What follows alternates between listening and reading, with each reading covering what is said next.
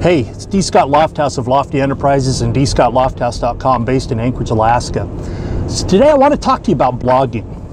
You know, the, the days of being anonymous online, of being able to just put some kind of a system out there or a product or service is, is gone. Basically, you, you really have to brand yourself. And I talked about that in another video, but you've got to brand yourself. You've got to create the product and service around yourself because people want to know who's behind whatever it is that they're purchasing.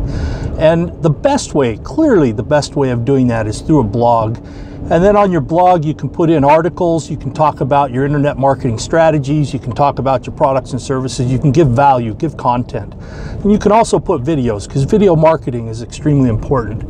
But you, you really, really need to blog. If you're not blogging, you're, you're, you don't exist. It's just like having your own domain you really need to have something that brands you, and blogging is by far the best way to do that. So I want to thank you for watching this video. I hope you'll come back and consume more videos and that you'll be looking at my blog and at my video channel and the various products and services that I provide. I have I've done a lot of research, I've done a lot of training, and I've I've learned a lot about the internet marketing business, and I'd like to be able to help you and coach you and help you be successful. So look for my coaching program, look for my business systems.